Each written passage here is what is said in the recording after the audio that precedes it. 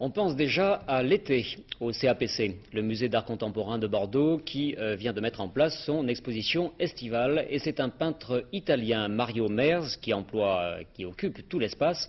Mario Merz, qui est un des précurseurs de ce que l'on appelle l'arte povera. Regardez.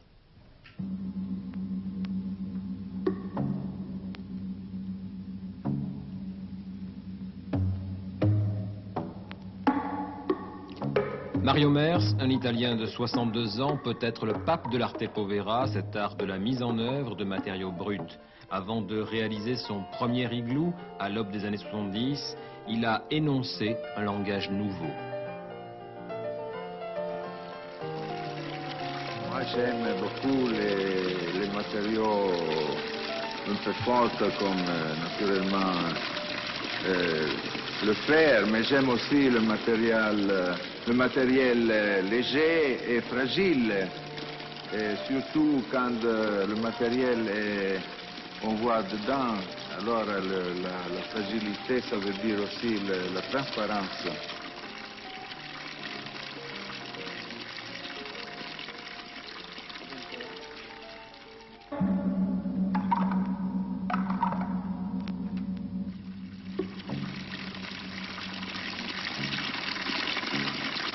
L'igloo ça veut dire, ça veut dire la terre, l'igloo ça veut dire la maison, l'igloo ça veut dire la pomme, l'igloo ça veut dire le fruit, le fruit, l'igloo ça veut dire la cohésion de l'atome, l'igloo ça veut dire euh, la, le ciel, l'igloo ça veut dire les planètes, l'igloo c'est toujours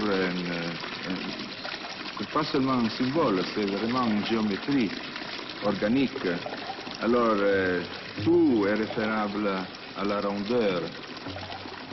Même euh, Van Gogh a dit une fois, a, a dit une fois, peut-être le, le, le, ré, le, réel, la réalité est ronde. Et ça, j'aimais beaucoup cette phrase.